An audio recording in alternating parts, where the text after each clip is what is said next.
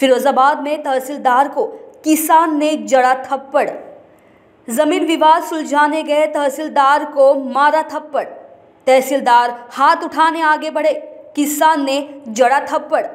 किसान के थप्पड़ मारते ही ज़मीन पर गिरे तहसीलदार। दोनों किसानों को पुलिस ने पकड़ा, शांति भंग की कार्रवाई।